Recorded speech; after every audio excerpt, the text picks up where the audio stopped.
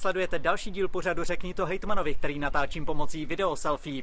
Tentokrát natáčím v Jeseníku. Tak uvidíme, kolik lidí využije příležitosti položit otázku hejtmanu Olomouckého kraje Ladislavu Oklešťkovi.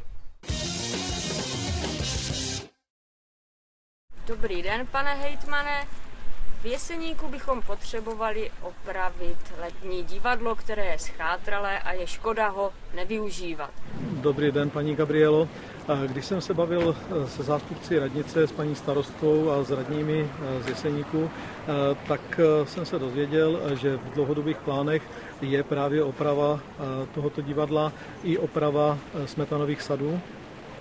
Já doporučím radnici v Jeseníku, aby se spojila s odborem strategického rozvoje a s odborem životního prostředí právě našeho kraje a podle toho se dá zabudovat a trošičku požádat o nějaký dotační titul, který by revitalizaci těchto dvou míst umožnil.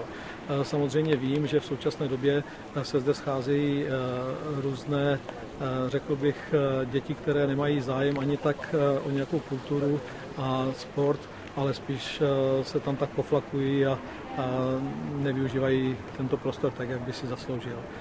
Tak eh, věřím, že i město dodrží své slovo a bude bojovat a usilovat o to, aby se revitalizovalo co nejdříve.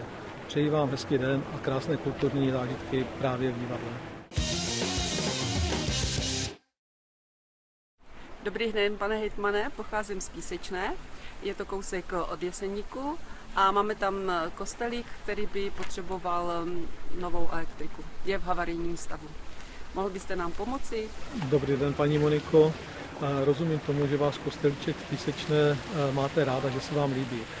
Pokud já dobře vím, tak e, tento kostelíček má kořeny až e, v 13. století, v první polovině e, jsou tam známy první románské prvky vašeho kostela. Pokud budete chtít pomoct s dotačním titulem, tak vlastník nemovitosti musí požádat na odboru kultury a památkové péče Olomouckého kraje a má tam reálnou šanci dostat příspěvek právě na opravu, kterou potřebuje. Přeji vám hezké dny, ať se vám daří a ať se váš kostelíček brzo stane takovým, jaký si představujete.